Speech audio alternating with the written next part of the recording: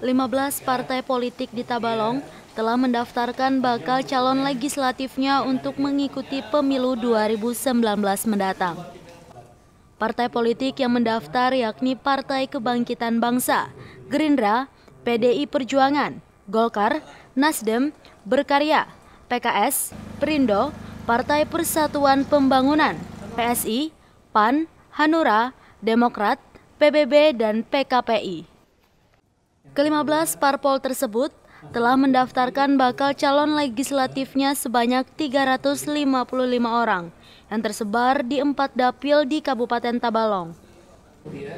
Terdiri dari 215 calon laki-laki dan 140 calon perempuan.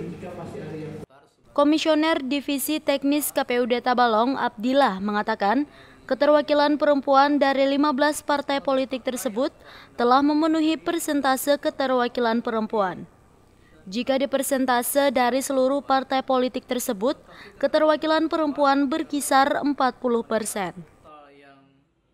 Persentase keterwakilan perempuan kalau melihat total yang ada sampai dengan hari terakhir berkisar sekitar 40 persen kurang lebih.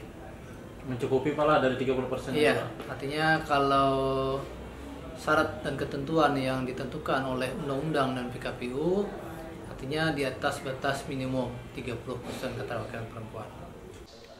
Abdillah menambahkan, hingga pukul 24.00 menjelang 18 Juli 2018, tidak ada informasi terkait perpanjangan masa pendaftaran Bacalek. Sehingga pada tanggal 22 hingga 31 Juli mendatang, partai politik diberikan waktu untuk melengkapi berkas sesuai hasil dari pemeriksaan oleh KPUD Tabalong. Haris Muhazir, TV Tabalong melaporkan.